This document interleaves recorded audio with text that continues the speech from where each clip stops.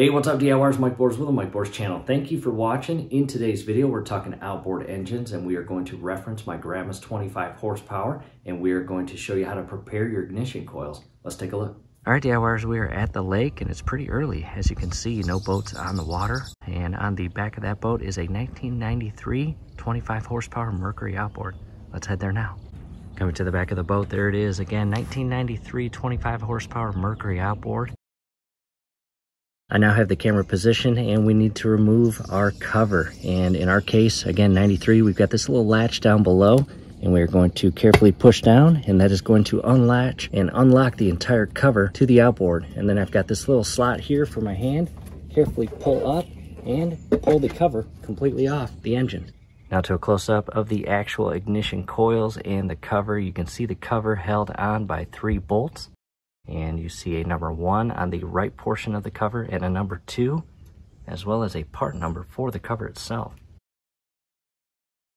And you've got additional wiring feeding into the positive and negative leads of the coils themselves Alright DIYers, hey, a quick break in the action, and what I'm going to do now is just replace the coils. I'm not going to bore you with that in this video. However, in the event that you want step-by-step -step guidance on how to replace your ignition coils, which involve removing your plugs, your spark plug wires, the two little zip ties that secure the plugs to the coils, as well as the four electrical wires feeding into and securing onto the positive and negative terminals of their respective ignition coils. Definitely check out the link scrolling above. You will find it very helpful. All right, DIYers, we're back at the workstation. And yes, Mama Dad's jet ski in-house for DIY repair videos during the winter. It'll be rolling out here shortly. Let's head to the workbench. Making our way around the jet ski. And hey, if you're into skateboarding, down below in the comment section, as well as the description section, will be links on how to build your own custom logo skateboard and hang it on the wall. And we've got a lot going on, as I just said, jet ski repairs. And here are the ignition coils we just removed. At this point, I've set the old ignition coils aside, and in the box here are two brand new ignition coils. OEM, there's the part number. And again, the RTV sealant. Down below in the comment section as well as description section will be links on where to purchase these. Let's go and open our brand new coils. And the brand new ignition coils are unpackaged, and I also unpackaged the JB Weld High Temp RTV silicone and it came with two additional parts bags and I opened up one of them and pulled out the piece of paper basically a service bulletin or page straight out of the service manual for our exact serial number service manual outboard engine. And as you can see here core change for through bolt mounted ignition coil. And in our case we do not have that through bolt. And this is what it is right here I had two halves still installed, which are those pieces right there. However, if you do not have those halves installed, here's what you're going to do. You're going to remove the following parts from the ignition coil. Everything, the rubber boot, ground link, and both halves. And it's shown there. And you're going to apply a light coat of RTV sealer around the outer side diameter on the through hole core provided. Install the through hole core additional info in the event that that is your setup. However, our setup is as follows. We are going to apply the RTV sealer to our actual halves. And step number one, remove rubber boot from ignition coil. We will do that. Step two, remove core halves and apply a light coat of RTV sealer around the outside diameter of the core pegs as shown here.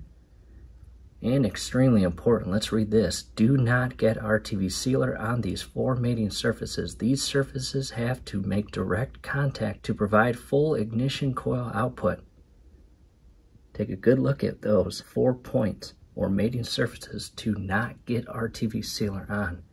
And then step three, four, and five, reinstall the core halves into the coil. Take the metal ground link to the core and reinstall the rubber boot. We'll show you how to do that now. Got the camera repositioned. I'm going to remove the parts bags that again have those cores in them. Set those aside and I'm going to do one ignition coil at a time.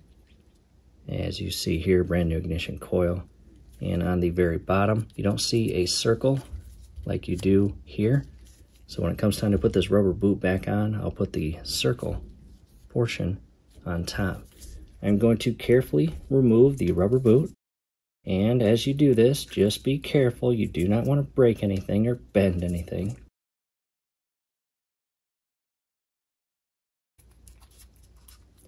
As shown here. And again, as I showed you a bit ago, there is a specific shape on how this goes back together. I'll set that aside. And the tape is slightly different on the new ignition coil. But again, there's the two halves. I am going to carefully peel the tape back.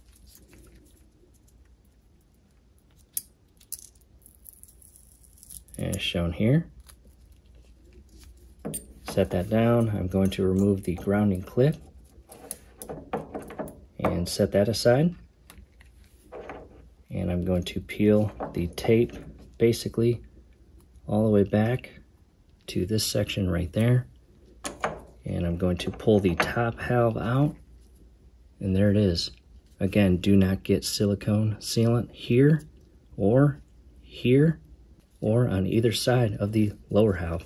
Again, just on the outer portion of this core here. There's a sneak peek at the brand new ignition coil.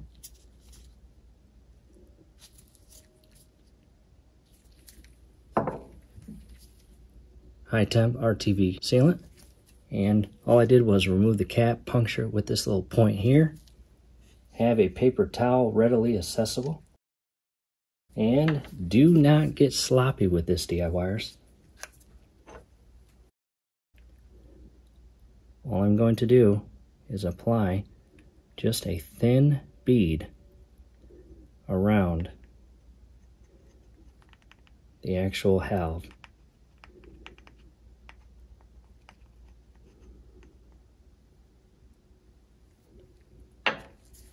And I'll do the same thing for the bottom half. Again, you can very quickly get sloppy with this. Do your absolute best not to. And from here, just double check that you did not get any on the leads here and the mating surface that these two are going to come together like shown here inside the coil itself. Again, do not overdo it. You can get sloppy very quickly. I am now going to carefully insert the valve inside the bottom portion and rest it flat as shown here. Coming from the top as shown here. Mate the two surfaces, push them together Again, double check that I don't have any silicone on that section right there. And push the two together. And I will resecure the grounding clip as shown here. Bring it over. Bring the tape on to secure the two halves together as well as the grounding clip. And another double check. And that is exactly how I want it as shown there. From here back to the rubber boot again with that little circle. I'm going to align it properly and slide it back in place.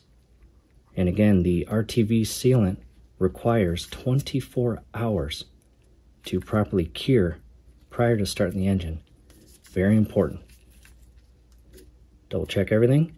And if all looks good, you can set this aside and we can start on preparing the second ignition coil. DIYers, we are making progress. Both ignition coils are properly prepped for reinstallment.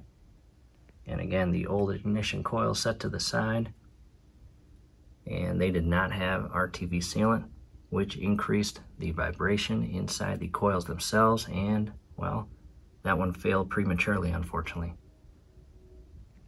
And again, we referenced our exact serial number service manual to ensure we are preparing our brand new ignition coils accordingly with that RTV sealant. And again, do not get that sealant on either four of those mating surfaces, just on the outer portion of those terminals there. And we continued on and finished up step three, four, and five. Again, properly prepare Alright DIYers, another break in the action, and again, this is how you properly prepare your ignition coils with the RTV sealant and the core halves, or the through bolt if that's your configuration, prior to installing the brand new coils into the outboard. And again, scrolling above earlier was that link to the video showing the full replacement steps of replacing our ignition coils on a 25 horsepower Mercury outboard. In addition, for your convenience, we will also post that link down below in the comment section as well as the description section, so definitely check that out. And DIYers, that is it. We hope this helps. Hey, do us a favor below the video. You will see that thumbs up icon. Click on that, like the video, subscribe to the channel. Definitely ring your YouTube bell. That would be very helpful to us. We would really appreciate it. Thanks again for watching.